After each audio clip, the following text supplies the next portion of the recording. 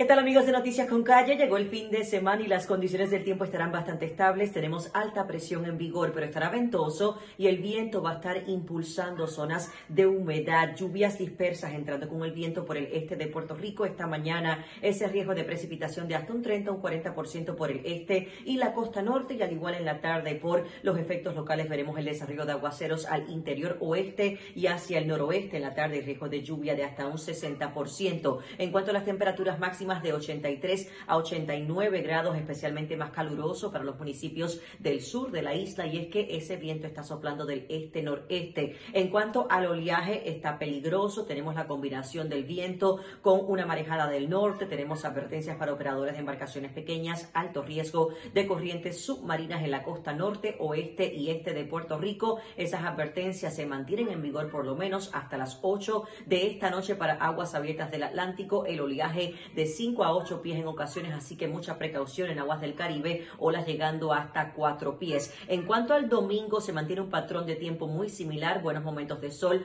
lluvias entrando con el viento, incrementa un poco más la humedad, así que esos aguaceros pueden ser un poco más numerosos, especialmente en la mañana al este y la costa norte, y luego en la tarde en la montaña y al oeste de Puerto Rico, el riesgo de lluvia de un 30 a un 60%, temperaturas máximas para mañana domingo de 82 a 89 grados y el oleaje gradualmente irá mejorando olas de 4 y hasta 7 pies en aguas abiertas del Atlántico, así que nuevamente mucha precaución para los navegantes y también los bañistas por ese alto riesgo de corrientes submarinas. En cuanto a la actividad tropical, todo tranquilo, no tenemos zonas de sospecha ciclónica y a largo plazo se mantiene este patrón de tiempo durante la próxima semana con esas lluvias dispersas entrando con el viento y eventualmente para la segunda mitad de la semana también llegan los remanentes de un sistema frontal. Yo los espero el lunes con más información del